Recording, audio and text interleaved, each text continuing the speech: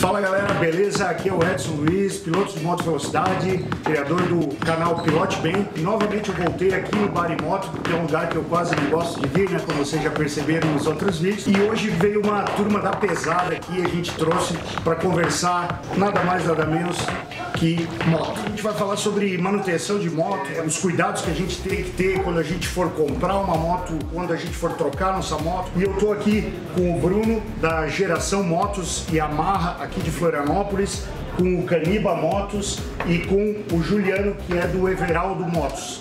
Então a gente vai falar um pouco sobre mecânica, um pouco sobre manutenção preventiva e um pouco sobre os cuidados que a gente tem que ter quando, quando for comprar a nossa moto é, usada ou trocar a nossa moto. Estou também aqui com o Luciano Spinelli e com o Rodrigo, que são os proprietários aqui desse ambiente maravilhoso que eu já adotei. E vocês dois aí gostariam de fazer alguma saudação inicial para a galera que sempre acompanha o canal? Bom, a gente queria agradecer primeiro a todo mundo que, que veio aqui para esse bate-papo. Agradecer o pessoal que está no backstage aí, né? Galera do Vice do Asfalto, o pessoal do Caniba, os demais clientes. Dizer que o espaço está aberto para quem quiser tirar suas dúvidas e que, mais uma vez, obrigado, Mamute. Vamos aí, Rodrigo. Agradecer a presença de todos, a disponibilidade do Bruno, do Caniba, do Juliano. É, além de ser clientes do bar aqui, são nossos amigos pessoais e, e de assuntos profissionais. A todos os clientes presentes aí no backstage, como o Luciano falou. É, Sinta-se à vontade para perguntar no final do vídeo.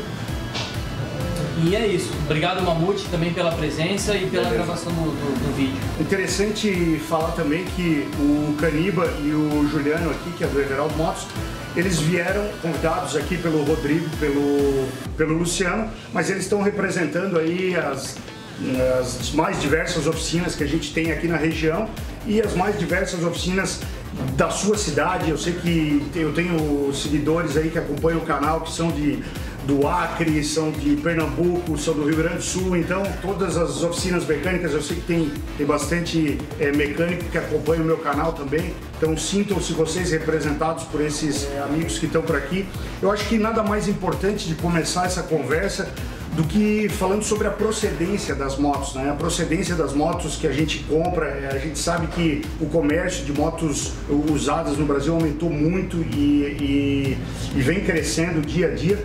Então eu gostaria de perguntar para o Bruno, que é o representante aqui da geração Motos da Yamaha, é, que trabalha com isso há bastante tempo, né, Bruno? Quais são as maiores dúvidas que, que as pessoas têm quando vão lá para trocar de moto e quais são os cuidados que elas têm que ter ao é, comprar uma moto, talvez em, é, até mesmo de um particular, não sendo somente numa loja, mas às vezes a gente sabe que acontece muita venda de particular para particular. Quais são a, a, as indicações e as dicas que tu dá para que essas pessoas se resguardem de, de situações inesperadas?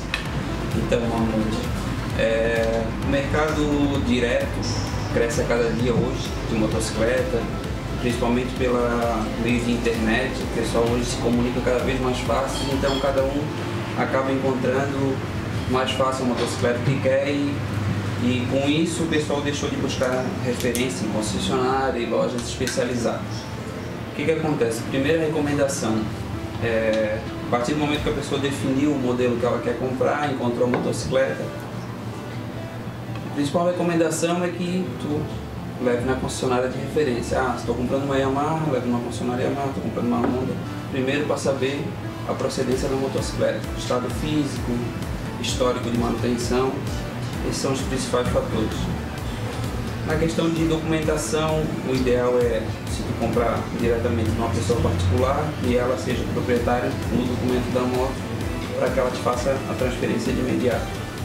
Hoje existem também várias empresas especializadas que te puxam um checklist de histórico da motocicleta. Então, ah, comprando uma moto do Rodrigo, o Rodrigo vai comigo até essa empresa, pelo chassi, pela placa da motocicleta, o cara vai puxar um histórico, pô, a moto do Rodrigo nunca teve uma queda, nunca se envolveu num sinistro. Então aí tu acaba isentando uma grande dor de cabeça futura.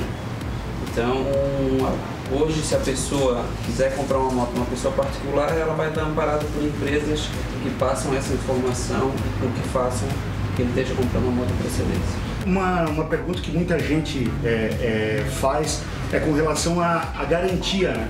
Eu, é, algumas pessoas e, e, já sabem, outras não, mas quem me acompanha sabe que além de, de piloto de moto velocidade, eu brinco que nas horas vagas eu sou advogado. Né? Então, então, a gente sabe que quando existe essa relação de consumo entre é, o comprador e uma, e uma loja, existe já a garantia legal. Né? Então, a, a, geração motos, obviamente, é, ela, ela tem essa garantia com as motos zero quilômetro. E com relação às motos usadas que ela comercializa, Bruno, como é que funciona essa questão da garantia? É, então vamos. A partir do momento que o cliente adquire um produto zero na geração, ele vai estar amparado pela fábrica e vai ter a garantia contratual de um ano. Quando se parte para veículo seminovo, que a gente trabalha com multimarcas, é, por mais que a gente é, utilize todas essas empresas para puxar o checklist da moto, para saber o histórico, é, muitas delas são feitas a parte de manutenção com a gente, então a gente já sabe o histórico da moto. É, é uma máquina, pode haver surpresas e tal. Então, por mais que a moto esteja uma procedência já nossa, verificada por nós, a parte de garantia hoje de concessionária e tal, o cliente vai ter em torno de três meses de garantia contratual a partir da data da compra. É interessante mencionar, inclusive, que é, a partir, eu acho que foi da semana passada, o Bari Moto aqui é um ponto é, de vendas da geração motos, né? Sim. As motos que o Bari Moto vender aqui estão resguardadas também por essa garantia, Bruno? Com certeza. é bom saber disso também, né, Rodrigo? Quem quiser fechar o negócio com vocês aqui, então vai estar resguardado por isso. Então vamos passar um pouco agora para a parte de, de, de manutenção, digamos assim. Caniba, Acontece muito de clientes de vocês que estão negociando motos usadas antes de fecharem o negócio, levarem a moto para vocês olharem. Digamos, eu quero comprar uma moto usada de alguém que eu achei na internet. Acontece de, dessa pessoa levar para vocês? O que vocês analisam lá e, e passam isso para o cliente de vocês para uma compra relativamente segura na medida do, do possível, né? É assim, quando está vendo uma moto, né, normalmente a gente procura pedir para ele, perguntar para a pessoa que é proprietária da moto, né, no caso se ela tem uma, uma carta de manutenção, o que ele mencionou aqui, se ela tem uma procedência de concessionário, olhar o manual, é, verificar se a moto no manual tem as revisões, normalmente a pessoa compra a moto, faz as primeiras revisões na, na concessionária, depois ele migra para a oficina, né? Sim. A oficina do, do mecânico que, é, que é, se, se familiariza melhor, né? No uhum. caso, se ele tem mais um vínculo com o mecânico. Tem mais afinidade. Exatamente, afinidade. Daí ele começa a fazer a manutenção fora da concessionária. E se esse cara tem as notas, foi feito, ah, eu fiz a embreagem, ah, eu fiz o motor. Então a gente faz o que? Eu, eu questiono, né? No caso, o meu cliente, cliente meu, eu mando ele perguntar, eh, fazer uma, uma, uma interrogatório, um interrogatório a uma pessoa, né? No caso, perguntar se a moto tem procedência, se ele fez as manutenções, troca de óleo, revisões periódicas, como eu estava falando, coisa que o cara compra a moto na concessionária, ele é amparado por uma garantia. Enquanto ele está nessa garantia, ele vai lá né, na concessionária e faz as revisões. Depois ele foge disso. Tem cliente que nem vai, ele compra a moto zero. Eu acho que também acontece, ele compra e nem vai lá fazer a revisão. É, ele vai fazer a revisão na oficina de confiança dele, com um mecânico de confiança. Então a gente manda sempre o cliente fazer essas, essas, esses questionamentos, entende? E leva a moto para a gente analisar, claro. Então a gente faz a análise da moto, é, verifica o estado, como eu estava comentando contigo de carenagem, eu sou bem técnico nisso, a parte de pintura. Então eu Esse é um ponto interessante que a gente vai, vai conversar depois. É. Questão de pintura aí eu acho bem, bem é, legal de falar. A gente tem uma oficina de funilaria bem completa na nossa, na nossa oficina, tipo, a gente tem uma estrutura de, de nem um, um auto de carro. Uhum. Quando eu vou uma moto acidentada, a gente faz um procedimento de de recuperação, faz alinhamento de chassi, faz carenagem de moto grande.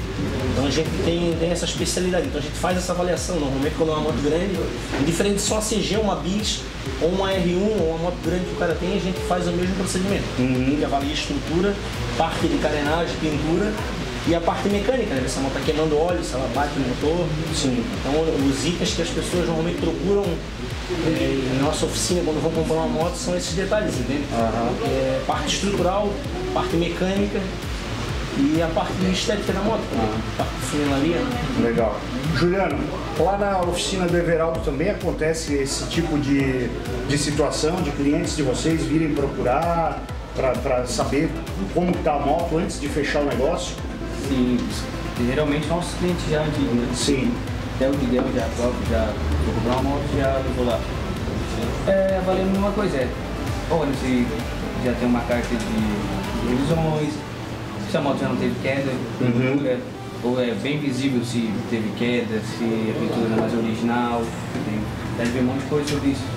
E é repassado no relatório do cliente, se a moto é boa. Aham. É, o que acontece bastante, e isso vocês vão, vão talvez concordar, talvez discordar de mim, mas eu percebo muita, muita gente conversando, ah, pô, eu não vou comprar moto de pista, porque pô, moto de pista é- sempre está utilizando ao extremo, não sei o que, não sei.